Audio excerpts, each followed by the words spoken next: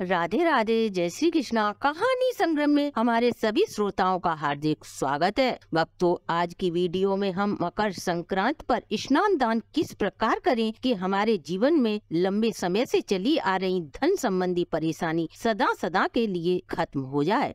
जानने से पूर्व यदि आप हमारे चैनल पर नए हैं तो सब्सक्राइब करें, वीडियो को शेयर एंड लाइक अवश्य करें। संपूर्ण जानकारी के लिए वीडियो को अंत तक ज़रूर देखें। भक्तों, ये बात तो हम सभी जानते हैं कि मकर संक्रांति में किया गया दान अच्छा फल देने वाला होता है। इस दिन हम स्नान आदि कर भूखों को भोजन, निर्धनों को धन व वस्त्रहीनों को वस्त्र देते हैं तो यह आपके द्वारा किया गया दान हमें सौ गुना बढ़कर पुनः प्राप्त होता है। आज के दिन पितरों का तर्पण कर पूर्वजों को प्रसन्न कर उनका आशीर्वाद पाने का भी सुनहरा मौका होता है।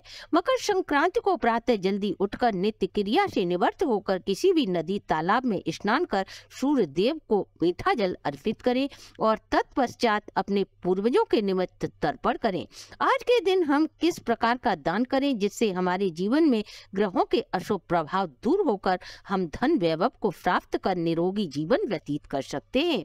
घर में सकारात्मकता बनी रहे, हमारे घर में भगवती लक्ष्मी का सदा आगमन हो, इसके लिए हम किस चीज़ का ध्यान करें? इस शुभ दिन सूर्य देव दक्षिणायन से उत्तरायण होते हैं। इसलिए ऐसी शुभ घड़ी में दान धर्म का बड़ा ही महत्व होता है। मकर संक्रांति को यदि हम खिचड़ी दान करते हैं तो घर में सुख समृद्धि आती है। इस दिन खिचड़ी दान कर इसे प्रसाद के रूप में अवश्य ग्रहण करें। इस दिन यदि आप खिचड़ी बनाकर प्रसाद के रूप में वितरित कर रहे हैं तो खिचड़ी में तिल अवश्य ही डालें। भक्तों, दूसरा दान है तिल दान। मकर संक्रांति पर तिल दान करने से हमें त्रदेवों की कृपा प्राप्त होती है। साथ ही शनि देव की कृपा सूर्य देव की कृपा प्राप्त होती है। सफ़ेद तिल दान करने से महालक्ष्मी की कृपा प्राप्त होती है। यदि आप चाहते हैं कि आपकी कुंडली में ग्रहों की दशा अच्छी हो तो गुड़ और तिल का दान अवश्य करें। और जब आप पर सूर्य नारायण की कृपा बरसेगी तो आपके जीवन में मान सम्मान, व्यापार, बाधा व रोगों से मुक्ति मिल जाएगी। जिन लोगों की जन्म कुंडली में शनि देव की साढ़े साथी या ढैया का दुष्प्रभाव है तो आप इस दिन काले तिलों के साथ काले वस्त्रों का दान करें। यह दान आप किसी भी निर्धन ब्राह्मण या गरीब को दे सकते हैं। यदि आपके कार्य स्थल में कैसी भी बाधा आ रही है तो उसे दूर करने के लिए मकर संक्रांत पर किया गया दान कई जन्मों तक फल प्रदान करता है।